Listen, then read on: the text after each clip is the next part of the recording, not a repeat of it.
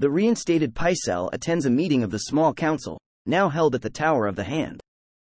Tywin tasks Littlefinger, recently made Lord of Harrenhal, with offering a marriage proposal to the widow Lysa Arryn.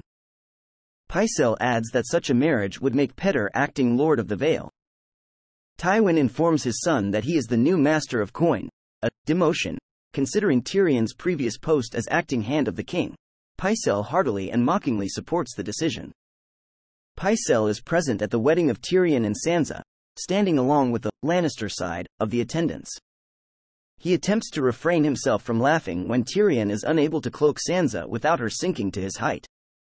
Pycelle later attends the wedding feast, where he flirts with multiple handmaidens of the court, and becomes agitated when Tyrion offends Joffrey's manhood before he and Sansa leave the feast.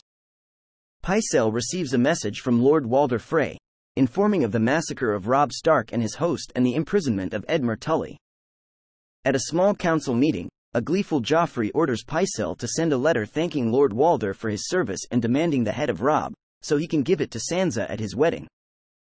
After Tyrion, whom Joffrey calls a little monster, notes that monsters are dangerous and kings are dropping like flies, Pycelle angrily states that Tyrion should apologize immediately as his comment is disrespectful, unacceptable, and in bad taste.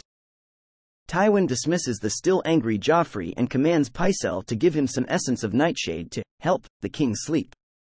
He is quick to carry out the hand's orders,